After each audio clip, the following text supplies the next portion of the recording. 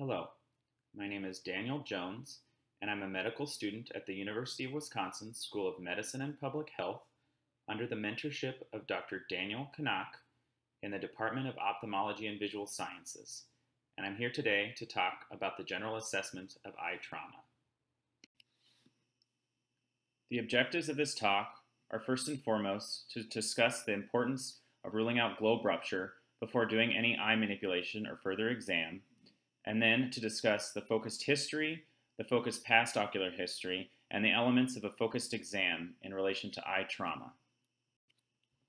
To begin, I'd like to briefly discuss why this topic is so important.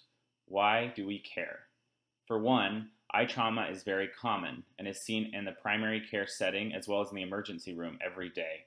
It composes up to 3% of ER visits annually, and up to one fifth of adults in the United States will have had a history of eye trauma in their lifetime. Thus, being able to accurately assess and manage these patients, whether that be in the office or knowing when to submit a referral to an ophthalmologist, is paramount to prevent permanent vision loss. This slide serves as a reminder that for any trauma patient, the ABCs should be performed prior to any history or exam to confirm that the patient is stable. After confirming the stability of your patient using the ABCs, the first crucial step in relation to the eye is ruling out globe rupture. This should be performed prior to any further history or physical exam of the eye. This is a very devastating eye injury and if not addressed appropriately, can quickly lead to permanent vision loss in your patient. Some things to consider when ruling out globe rupture are a patient with a suspicious history of hammering or metalwork, or a patient with previous eye surgery. Some signs that could signal an open globe include a peaked pupil or a shallow anterior chamber.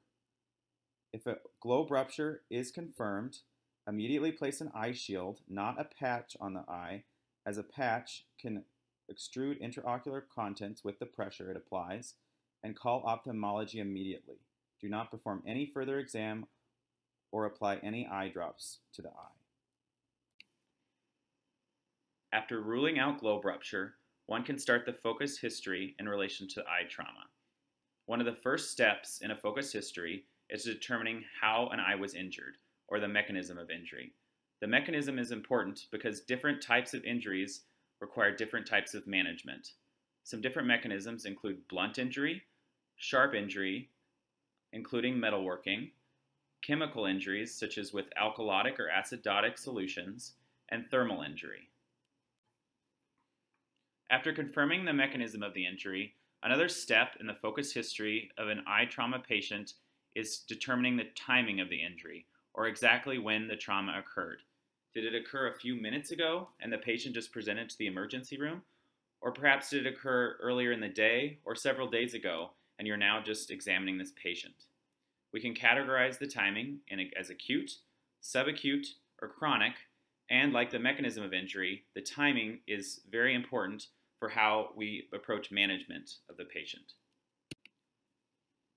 From there, after determining the mechanism and timing of the patient's eye injury, one last step in the focused history includes any associated symptoms the patient might be experiencing that could relate to their eye trauma. Some examples of associated symptoms include sudden vision loss or blurring of vision following a traumatic event, double vision, has the patient had any bleeding or has any lacerations related to the trauma, is there any limitation in eye movements in any direction that started after the trauma occurred? Do they have any eye pain, and how severe is that pain? And have they started seeing flashes or floaters in their vision since the traumatic event? After obtaining a full focused history from the patient, it is important to ask about any previous eye related diseases, surgeries, or trauma, as these can provide key clues to what might have actually happened to the patient. Some concepts to consider with a past ocular history include a patient with poor vision since birth. Do they wear corrective lenses? And when was their most recent eye exam? Is the vision changes they're experiencing now related to the trauma, or has it been going on for many years? Do they have recurrent ocular problems, such as inflammation or infection? Are they a contact lens wearer, and do they wear their contact lenses at night, as these can be key clues into a patient with a corneal ulcer or a related disease? Do they have a history of recent eye surgery, such as cataract surgery or corrective surgery? And have they had any previous history of eye trauma? After completing the focused history and past ocular history, one can begin the exam of the eye. The first step of any exam is inspection, and one should have a methodical approach for inspecting all of the eye structures, including the eyelids and eyebrows, the glands around the eye, the conjunctiva, the sclera, as well as the pupils. Some things to look for when inspecting the eye are any bruising around the eye, as well as any lacerations of the eyelid from the trauma, confirming the integrity of the cornea, the sclera, and the conjunctiva, looking for any blood in the anterior chamber, as well as looking for a peaked pupil. After thoroughly inspecting the eye and its surrounding structures, one can continue the exam with more objective measurements of eye function, including assessing visual acuity with a Snellen chart, as shown here on the right, assessing vis confrontational visual fields, looking for a proper pupillary response, and assessing extraocular movements to confirm there are no entrapped muscles. This slide provides some examples of some of those objective tests.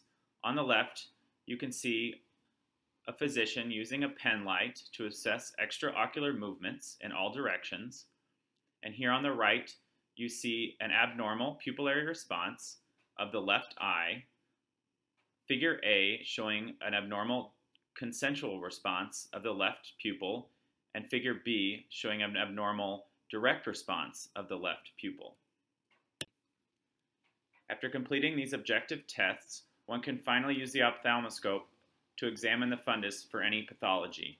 Some things to look for include optic nerve swelling, any signs of retinal detachment, any type of bleeding or dot hemorrhages in the eye, as well as any evidence of vessel emboli or occlusion that could have resulted from the trauma. Lastly, after using the ophthalmoscope to assess the retina, one should perform Seidel testing to assess for corneal integrity.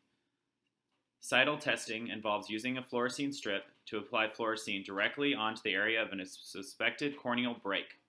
If this area turns more clear, as fluorescein is usually green under the cobalt blue light, one can assume that aqueous is leaking through the cornea. Now that we've discussed all the main elements in the assessment of a patient with eye trauma, I'd like to summarize the key points.